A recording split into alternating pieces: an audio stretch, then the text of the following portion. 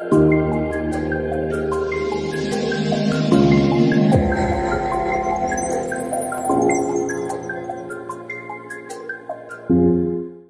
શાંતિ. દસ સપ્ટેમ્બર બે હજાર બાવીસના સાકાર બાબાના મહાવાક્યો. મીઠા બાળકો, પરસ્પર મળીને આ કળિયુગી દુનિયાથી દુઃખના છાપરાને ઉઠાવવાનું છે. બાપને યાદ કરવાનું, પુણ્ય કરવાનું છે. પ્રશ્ન છે, જ્ઞાનનો અવિનાશી પ્રાલબ્ધ હોવા છતાં પણ કયા બાળકોનો પુણ્યનું ખાતું જમા થવાના બદલે ખતમ થઈ જાય છે?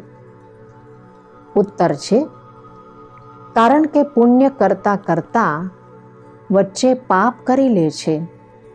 જ્ઞાની તો આત્મા કહેવાતા હોવા છતાં સંગ દોષમાં આવીને પાપ કર્યું, તો એ પાપના કારણે કરેલા પુણ્ય ખતમ થઈ જાય છે.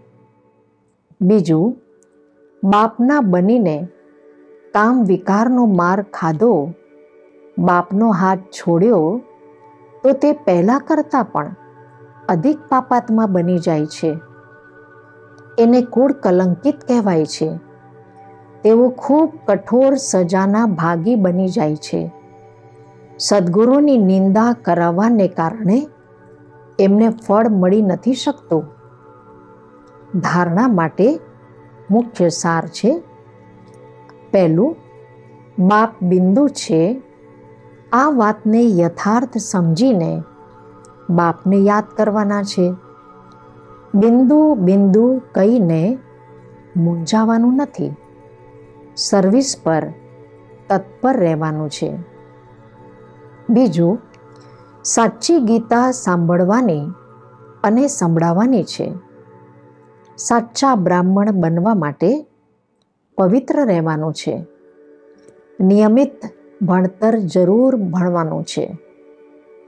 વરદાન છે સદા ખુશીનો ખોરાક ખાવાવાળા અને ખુશી વહેંચવાવાળા ખુશનસીબ બેફિકર ભવ.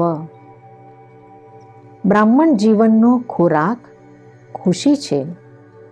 જે સદા ખુશીનો ખોરાક ખાવાવાળા અને ખુશી વહેંચવાવાળા છે, એ જ ખુશનસીબ છે.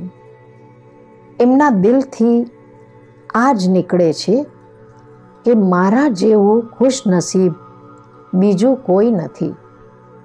ભલે સાગરની લહેરો પણ ડૂબાડવા આવી જાય, તો પણ ફિકર નથી.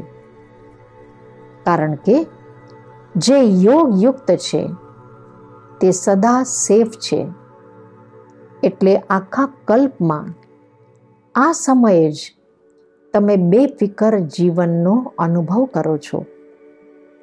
સતયુગમાં પણ બેફિકર હશો. પરંતુ ત્યાં જ્ઞાન નહીં હોય. સ્લોગન છે, સહજ પુરુષાર્થી બનવું છે, તો સર્વની દુઆઓથી સ્વયંને ભરપૂર કરો. અચ્છા, ઓમ શાંતિ.